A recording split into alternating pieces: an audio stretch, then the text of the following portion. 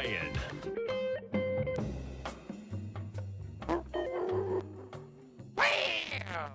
Welcome, folks. This is Tom O'Brien of TFNN. We go five days a week. We go seven hours a day. We go 24 hours a day on the internet at TFNN.com. Always remember, folks, whatever you think about, you bring about whatever you focus on grows. Hope everyone's having a, a great day, safe day. Let's make it a great night, folks. We're coming up to Super Bowl Sunday. You gotta love it. Always do your best. Practice makes the master. This is a great card. By doing your best over and over, you can master the art of transformation. By doing the best, the habit of misusing your word, taking things personally, and making assumptions will become less will become weaker and less frequent with time.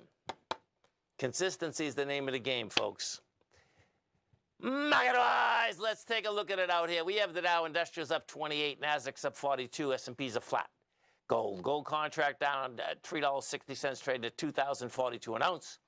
We have silver up 31 cents, $22.67 an ounce. Light sweet crude up 264, $76.50 a barrel. Notes and bonds. You get the 10-year note trading down 14 ticks right now at 110.23. The 30-year up a full point, plus five ticks at 119.22. Now they're both coming into their lows that were established out here Monday with a lot lighter volume, folks. I expect what you're going to see is a rejection of lower price once again. We have the 10-year right now yielding 4.17. In the last three months, the low has been established at 3.7. The high is at 4.6. Quite a deal, right? Nine tenths of 1%. And then good old King Dollar. King Dollar right now is trading up 101 ticks, trading out at 104, 158, Euro 107, Yen 149, British Pound 126 to 1 US dollar. Our phone number is 877 927 6648. Give us a call, folks. Want to know what's going on in your world. In the world of the S&Ps, let's take a look at them. Well, let me take a look at the futures first. I mean, there's a there's no action out here today. That's the real bottom line, folks. Okay, we take a look at the S&Ps. You'll see, you know, they had the low there of uh, 5003, the high of 5017. That's where we're at right now. Um, you know, it's just been inside all day long. You know, we take a look at this. Let's just see what I'm. Well, there, there, I see what's happening. One second, let me see this 10-minute bar because what we just did here. Okay, 309. Okay, let me get closer to this now. One second, because I think we just took this 10-minute that, that consolidation out, and we get some volume coming in here. Okay, so what is that one? No, it hasn't taken that one. You got we hit the 5017.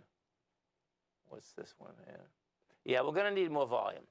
Okay, this bar just finished. This 10-minute bar finished. It didn't have enough volume. Here, let me show you like this way. This is what you want to look at. There's two bars. You get the bar from the beginning of the day. You get the bar in the middle of the day. In both cases, let me see what that one was. That one was uh, 134,000, and we were at 130. 130, yeah. So what happens here, this will probably go for the high once again the next five or 10 minutes. Um, and see if it can get the volume. Because if you get a surge of volume in here, then you will basically go up about 10 points. Because this has been a long consolidation, you know. So we'll see whether it can basically get up to that uh, 1017 again. Well, the number is actually 1016 and a half. That's the number. And then you need the expansion of volume simultaneously. Let's go to the NQs and take a look at the NQs. So we take a look at these NQs here. So the NQs had a deeper retracement. Not the same setup at all. Not even close, actually. Yeah. Yeah. You don't have any high volume bars out here. Yeah. So different ballgame, man. That's interesting, man, just in general. So the NQs yeah, I mean, I, I don't see those going to the high today. The high is 896, and right now we're at 866. Gold. We go take a look at the gold market out here.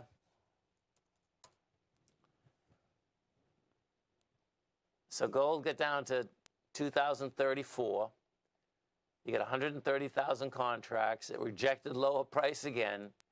Look at how long this has been going sideways. This is Yeah, you rejected lower price again. We were going into 175,000 contracts. You did 130. That's saying that wants higher price.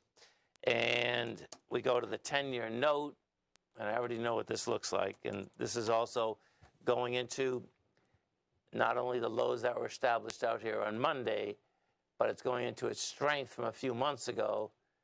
And the one you want to look at right off the bat, though, is Monday, because that's the closest one to us. Yeah, there we go, right there. So we're coming into that level with 1.3 billion versus 2.3. Still going to need a rejection of lower price, that's telling me the note and bond market's going to go too. And as I said, it's not going to be a linear deal. And then we go to good old King Dollar. We take a look at King Dollar. So when we take a look at King Dollar, what you have out here, same type of setup, meaning, you know, we'll see King Dollar today at a hard time holding price. We got to 2, 104, 434. Right now you're at 104, 141. And New York Community Bank, we got to go to the bank, New York Community Bank, because it, when all said and done here, this is going to be the biggest farce in the world. Not the world, I'm exaggerating there, okay? But the bottom line is that, you know, between yelling, everyone's trying to save New York Community Bank. New York Community Bank, folks, is done. That's not only done, but yesterday what you had, you had a, a Fed, uh, yeah, it was a Fed governor, I believe, come out saying, oh, no, it wouldn't matter, you know, what happened with New York Community Bank. That's not going to affect rates. They're out of their mind, folks, okay? Let me tell you something. The first time, there's being so much hidden right now in regional banks and banks that have commercial real estate. Once those dominoes start to fall, the Fed's going to crack in about two seconds. They have to crack because what we still don't know, and this happens every single time that these things happen. Here's New York Community Bank, right? Where are the dominoes? Guess what? None of us know. My speculation is that what? And I'm sure many are thinking the same thing. We know it's out there somewhere, man. It, it, it is like a no-brainer, okay, that they always claim that, no, no, no, I'm not invested in that. Oh, really? Yeah. As soon as it goes down the tubes, oh, oh, yeah, geez, we were invested in that. We just lost, you know, another $500 million overnight. Yeah, see you later. I suspect that that very well may be the catalyst, too. Commercial real estate may be the catalyst that instead of going down three quarters of a point in the next year, you get down a point and a half. Because the Fed knows what they're doing. And they're crushing commercial real estate more and more. It's not real residential. They're crushing, and, and the longer they stay higher, the more it's going to get crushed. Stay right there, folks. Come right back.